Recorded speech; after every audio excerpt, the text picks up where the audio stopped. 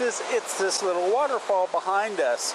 And if you're wondering where this is, we're in a waterfall called Cam Ly. And it's just outside of Dalat. So if you come to Dalat, come check it out. I mean, you got houses and everything right around us. So you're like in the middle of the city almost, but you got this cool little waterfall park slash park, you know, it's very cool. So hopefully you can hear me with this background noise. Wayne asks, is it possible to get a retirement visa from Vietnam? And the answer to that is no. The reason why the answer is no is because uh, Vietnam doesn't have a retirement visa per se.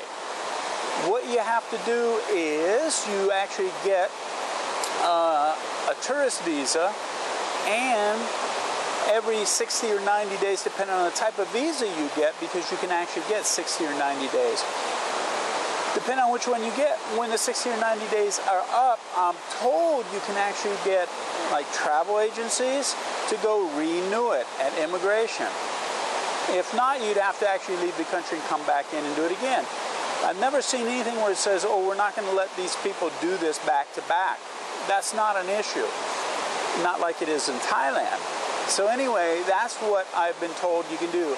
That you can renew this tourist visa up to one year and then you're going to have to go out, get a new visa and come back in again. Something about they put extensions on this or something. And I'll get more information about that and report back to you about it. But it's not like Thailand where they actually have a thing set up for people retired. So, now having said that, if you come from America, there's actually a one-year visa, but it's only good for 90 days at a time. So 90 days, you got to either leave the country or take it to a travel agency and have them have it stamped out and stamped back in every 90 days. But you can do that up to a year, then you'd get another visa.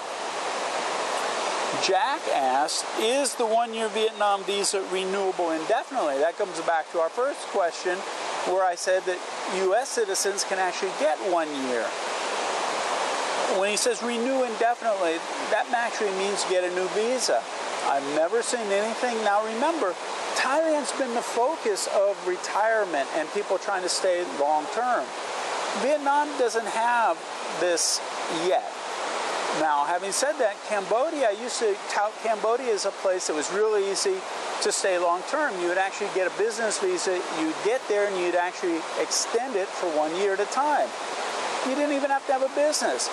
This last year, 2017, they actually cracked down on that and said if you're going to get a business visa, we'll give it to you the first time. You can get three months out of it, but when you go to extend it, you've got to have a business. So it became very difficult to actually stay long term. I shouldn't say it became more difficult than it was before. It was a slam dunk before, not so much anymore. Also, if you're from America, there's a lot of tension between Cambodia and America because of their whole political situation and supposedly their freedom of elections and all this stuff. Well, U.S. stepped in and, and said some bad things and really pissed off the Cambodians. But anyway, as far as I know, Jack, you can renew this indefinitely. And I'm hoping I'm going to run into somebody living here long term and that I can interview and ask them how they do it. But I haven't ran into anybody yet. Everybody here is tourists. And having said that, around Dalat, you see a, a, a, little bit in certain areas of Westerners, and the rest are Chinese, Japanese, Koreans, and stuff like that that are coming here. But if I find a Farang, I'll ask him how he stays here long term. Jim asked, I was hoping you could talk about how you handle your phone service in Vietnam. Do you roam on your Thai plan or do you put a Vietnamese SIM card in your phone upon arrival? Nat and I used to buy the SIM card in the airport, but like last time we came, we bought a SIM card and then once we got to Dalat, they said, no, that SIM card was only good where you were at, which was where? Hanoi, I think it was, yeah, where we flew into. And so they said, no, this is no good. So we had to buy a new SIM card. So what I've done now, and we did it this time, is once we arrive, we go to a phone shop and we tell them what plan we want. Basically, Nat and I, I don't think we've made one phone call since we've been here. We would only call each other probably because we don't speak Vietnamese. But I needed it for the data plan. And I got a one month SIM card with data How many thousand baht? Do you know that? Do you remember? I forget what it was. It wasn't very expensive though. And they give me two gigabytes per day for the internet on that plan. And it was very cheap. So we take our SIM card out and put this one in. So there you go. Nat and I are going to enjoy this waterfall, and I have another one I'm going to take her to shortly. Uh, maybe you'll even get some shots from there as well to see how pretty it is. So, hope these questions have been helpful. If you have any more, make sure to put them in the comments. See ya. Hey, gang. Well, we made a little pit stop. Just like in Thailand, you find your own little cool little coffee shops that you appreciate and you frequent them. And it can be because you like the price, it can be because you like the, the service, can be because you like the product that they serve.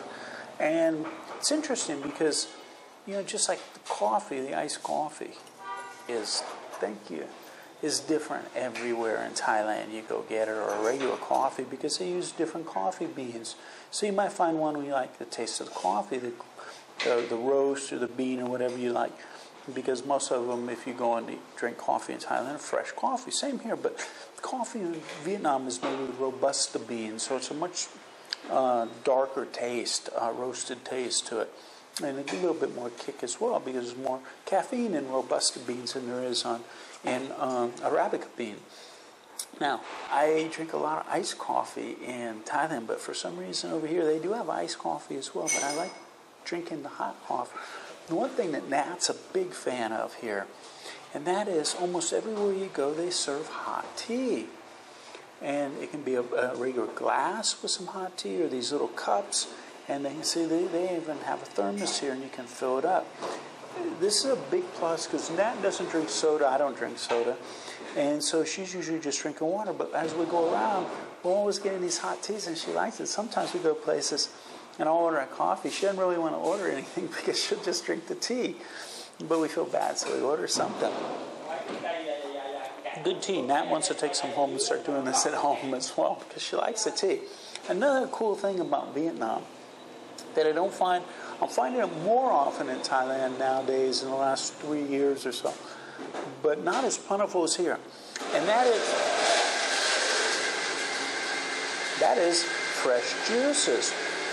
Everywhere here on all the menu, they have fresh juices. Uh, carrot juice and guava juice and apple juice and, and you can tell they, they have the machine there and they actually extract the juice. Now we, we talked a little bit about Nat's carrot juice was sweet. I think they put a little sugar in that to sweeten it up, but it was really tasty. But fresh juices are a big thing here. Uh, avocado shakes. Nat got this avocado shake here. Avocado shakes are really popular here as well. And you might be thinking, oh, avocado shake. Well, if you come from Florida or someplace where they have avocados or California, probably a fan of avocados. And the shake, they don't sweeten it up too much. Um, and they add a little bit of milk to it. And so it becomes a shake. And it's very tasty. Like I say, not real sweet. Nat got this special one. We actually found this place here where I get my coffee. And they put a scoop of coconut ice cream in it. Oh, man. So, anyway, but yeah, if you're into health and stuff, you can eat healthy in Thailand. You can eat healthy in Vietnam as well.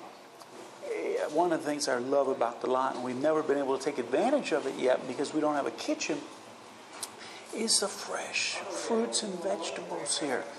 Because of the cooler weather, oh man, I see artichokes that are this big, broccoli heads that are just dark, dark green and are this big. Avocados, not the, the oily avocados like Hass avocados, which we can buy imported in Thailand now um, for a little over a dollar a piece. But they have the, more like the Florida avocados here, but they're plentiful.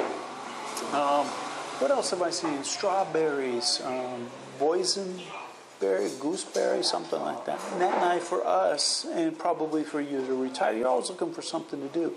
So you can go to places like this. Everybody has free Wi-Fi now, and you can sit. I feel like I'm in kindergarten now, with the kindergarten furniture. Still don't know what's up with this.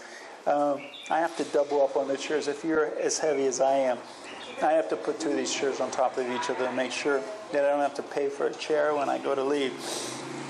But uh, yeah, I guess it's good exercise. It's like the squatting position, you know. But anyway, um, yeah, that's it. We were always looking for little places to stop, hang out. Doing that, you know, check the internet or something. I'll check the internet and and talk and hang out and have a coffee and a shake. Really cool thing to do during the day. And these are oh, coffee shops here are more plentiful than in Thailand, everywhere.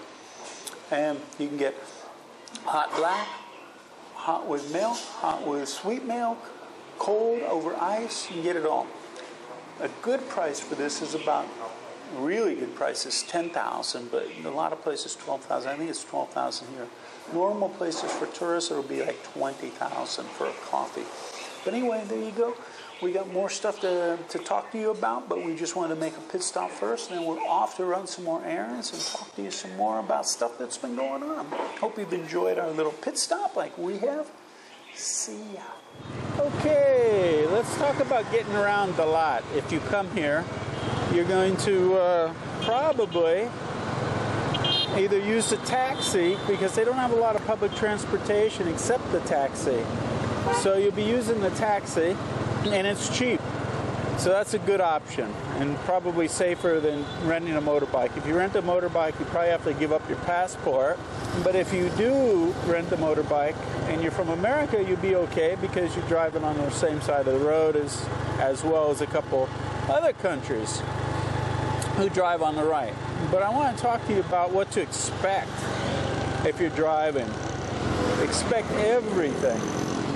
And as far as the horns are concerned, the horn is basically, to me, it's a form of making a statement that if you honk the horn, it means you're not going to stop for them.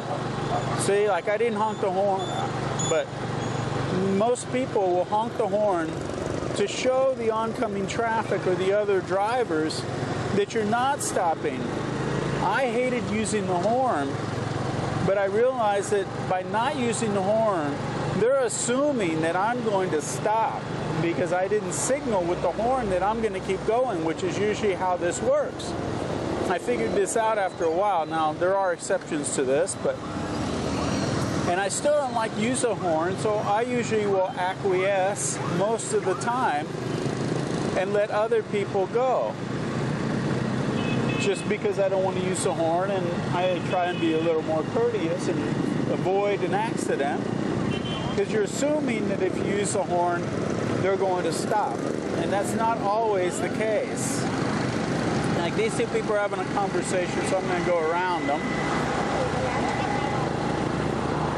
And I hope the, the wind's not too loud in the microphone.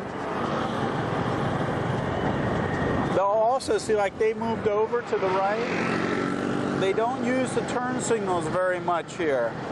So if you're if you're thinking, okay, I'll know what's going on because I'll, I'll just pay attention to turn signals. I'd say 80% of the people here don't even use the turn signal. So the thing about this where people say the horns are a good thing, I, I, still don't agree with that because there's so much horn honking. So it's not it's not rush hour yet, but at rush hour you'll hear there's so many horns. I never know who's honking at who. And so it, it sort of keeps you on edge because you're assuming that every horn is is you need to pay attention to. So it sort of keep you on edge, or it keeps me on edge anyway. See, like that guy's honk, honk, honking, but I don't know who he's honk, honk, honking at. I wasn't even close, he wasn't even looking at me. So I just want to give you an idea. We're just going to drive around for just a few minutes here so I can give you anybody that comes and never been here before an idea what to expect and how now I interpret a lot of this stuff, which like I said, I'm a newbie to all this. The circles are real interesting. You just sort of weave your way around. It's great if you can go with a car. See, like if I go with these cars, then you just sort of follow them around.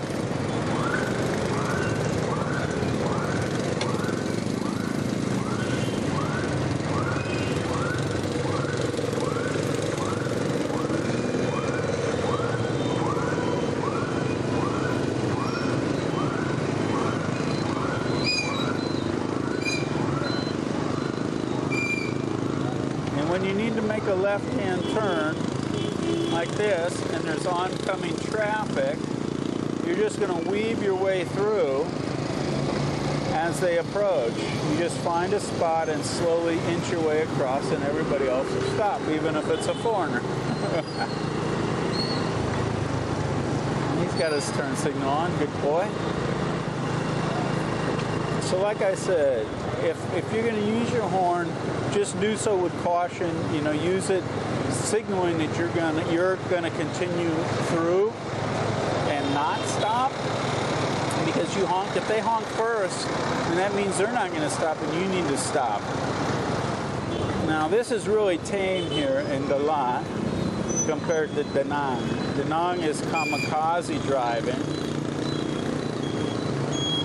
so if you're going to try and, and either get up to speed on motorcycles here, or sometimes just going to a smaller city, getting a motorbike and practicing before you hit a bigger city like Da Nang because it is just oh, over the top there. Even though I like the city a lot, driving is, is an issue certainly do take your, your life in your in your hands by doing this. Okay, here's this is another circle we're going to go up and circle around so I give you an idea again about what it's like because the circles are the hardest ones to negotiate because everybody's going different directions. So here's a great example here. Now I'm not going to use my horn, but they actually slowed down for me. That's a good thing.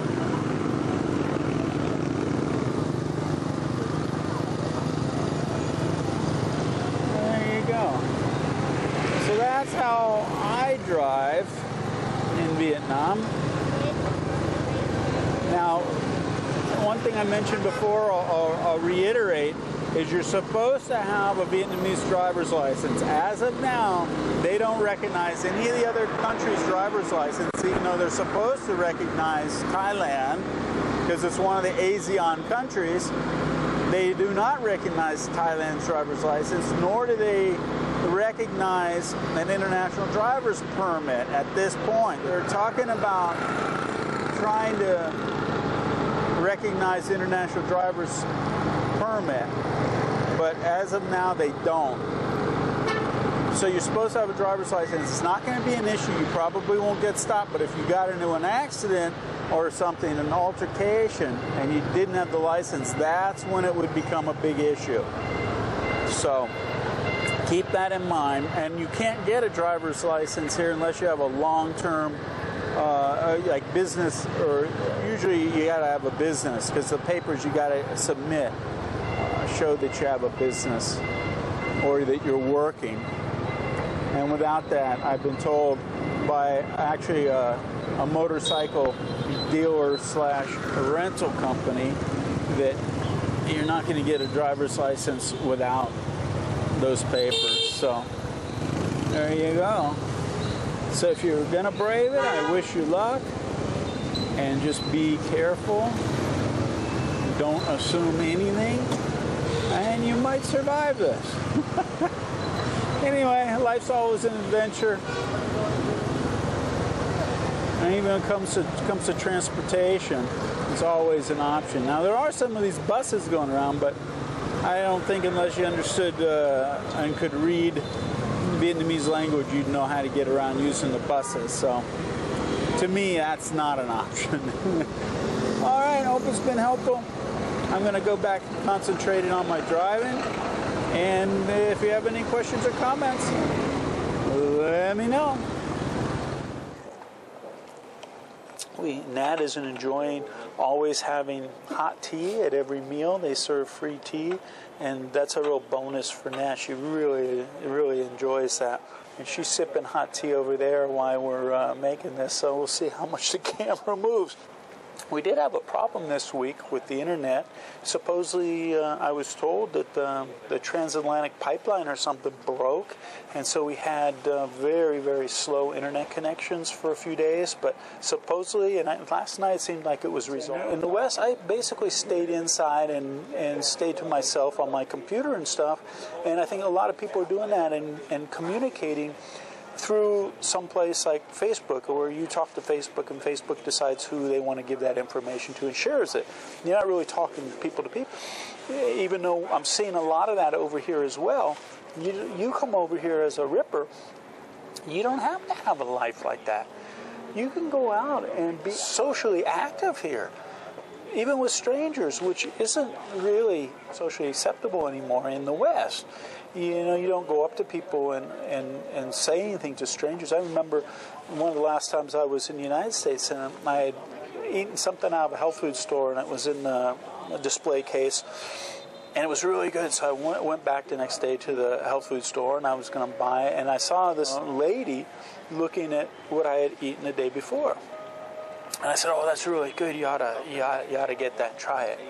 The look that she gave me, like she was going to call 911 and had me arrested for talking to her as a stranger. Like, you know, who are you? Why are you talking to me? Even though it's permeating the culture here of the social media, you don't have to have a life like that here. You can step out. When I first got over here, a lot of places didn't want you to plug in your phones and charge them and, or hang out uh, and use the thing because you're using the internet and you know taking up space in, in cafes or restaurants or you know people were finding places to plug in their phone you know that had uh, plugs and but now it's all different. You know they encourage you to stay in places and using it there's free internet everywhere in thailand and vietnam. Um, so if you're thinking about you need to have internet or 4g or something your guest house or your hotel or anything will probably have Wi-Fi, which will be pretty good. But you don't have to sit in your room. You can go out to the malls now.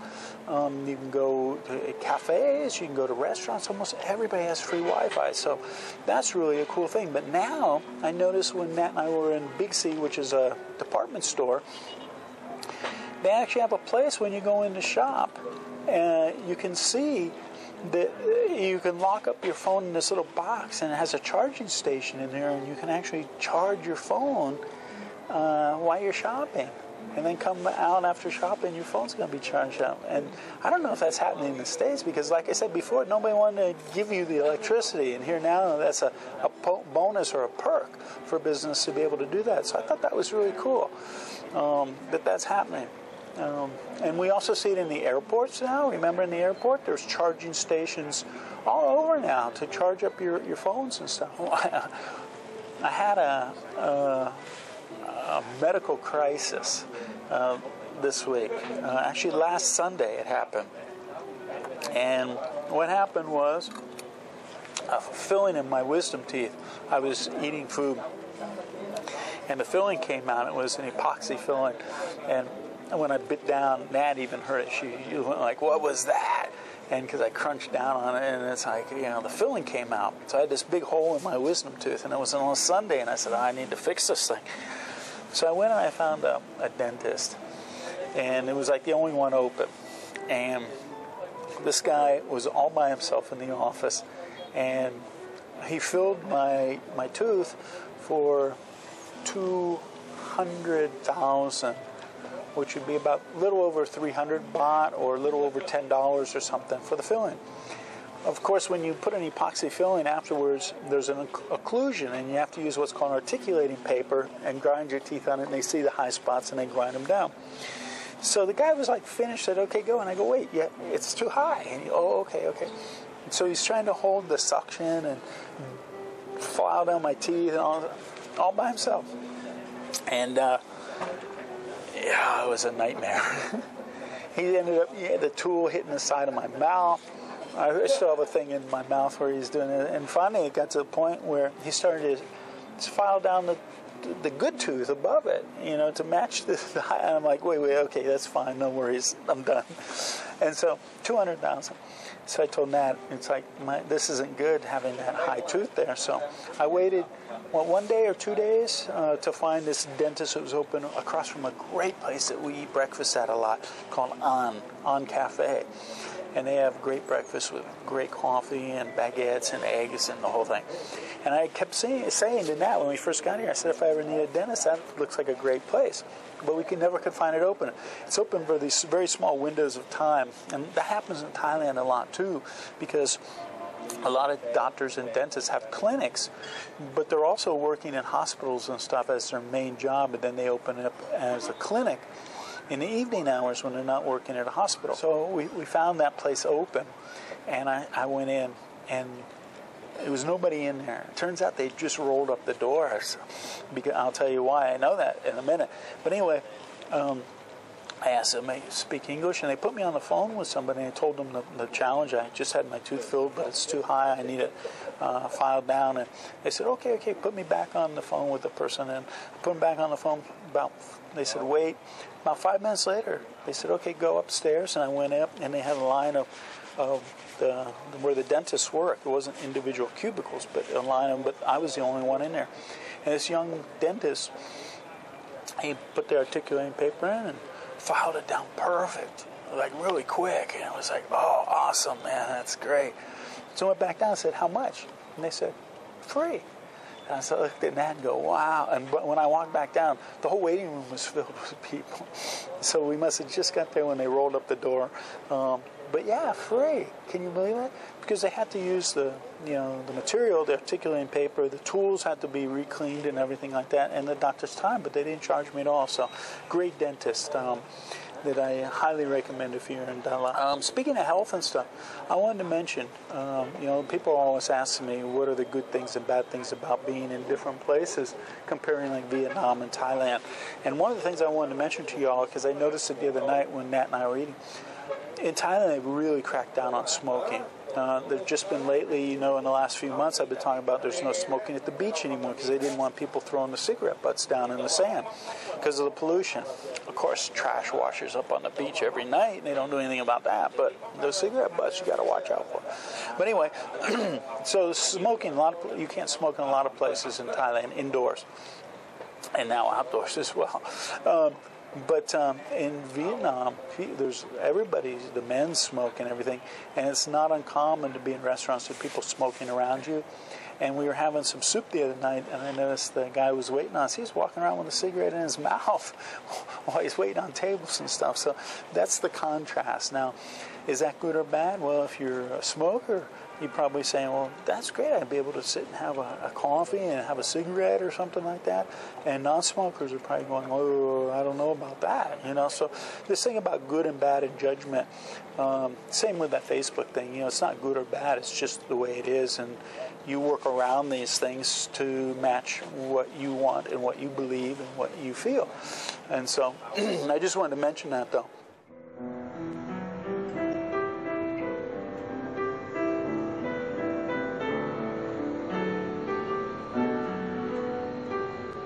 Hey, so last week we found out there was an apartment for rent, which turns out that uh, one of our members, he uh, he and his mother stayed at that same place that we went and looked, but the one that we looked at, it was already uh, rented. So Nat and I have been looking around to find something that's a little longer term. If we come for three weeks, staying in a hotel is really not a good option because it's, it's expensive. So we've been asking around, looking around, driving around. We know what the sign looks like for rent, but can never find one. And so we stopped at this little coffee shop on this hill, got a great view, and uh, there was a kid there that spoke good English. In fact, he was uh, just served the coffee here. And uh, so I asked him, I said, We're looking for a place to rent. You know any place? Now, I'm not sure if you can hear that in the microphone. It's like a planer. Anyway, he pointed to this place up the hill, that house up there. And so he said, they have rooms for rent. I wandered up there, and there were some young guys. Young people here are really cool, really helpful, and they speak much better English than, than most young people the same age group in Thailand. But anyway, I went up there, and there were some young guys there, and they're remodeling this. This was some, I don't know, maybe it was neglected or whatever, and it's been bought, and they're going to make a hostel out of it. Hostels are real big here. Um, I guess there's backpackers or low budget travelers that come to Vietnam a lot. So hostels are plentiful, homestays are plentiful, and um, but not apartments. Apartments are really hard to find. So anyway, um, I wandered up there, And the guy says, uh, Well, we're just staying here for a few days, and uh, I'll call the owner for you and, and ask if they can rent a room for y'all. And so he did that. And the owner came, owner or manager, not sure, but she spoke really good English as well. And she said, and this is a hostel. We have multiple beds and stuff like that. You want a room, right? I said, yeah. So she showed me a room, and they're still working on it. They're not finished. She said next week they might be finished. But anyway, we're already booked for this trip anyway. But uh, she gave me a price for a month that was six million dong, and for three weeks in a hotel, almost three weeks in a hotel, it's costing me 14 million. So it's less than half for a whole month, and it's a room within the house separate room with its own separate bathroom, but we have access to the kitchen. It's got a little fireplace downstairs and stuff like that. So that would be a great deal. So next time we stay, we're probably going to contact her and stay in this place. And the view is incredible from the house. And I asked about a motorbike, and this time I'm paying 1.5 million which comes to 150 baht a day or something like that. But anyway, I can get the motorbike for half price as well. So very cool, huh? So never know what you're going to find when you're going around and uh, and drinking coffee, right? So that's going to be our digs next time we come, hopefully. And uh, just wanted to get you up to speed.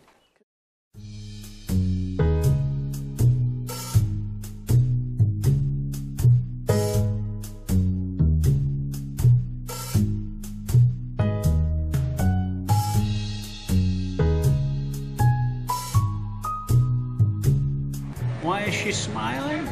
Why is Nat smiling? Because look, we have